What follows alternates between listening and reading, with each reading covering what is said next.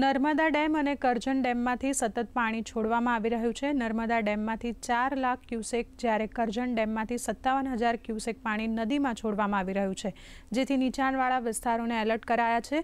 ત્યારે નાંદોદના ધારાસભ્ય દર્શનાબેન દેશમુખે પણ સાવચેતીના ભાગરૂપે લોકોને નદી કાંઠે ન જવા અપીલ કરી છે અને નદી કાંઠે વસવાટ કરતા લોકોને પણ જગ્યા છોડી દેવાની અપીલ કરાઈ છે.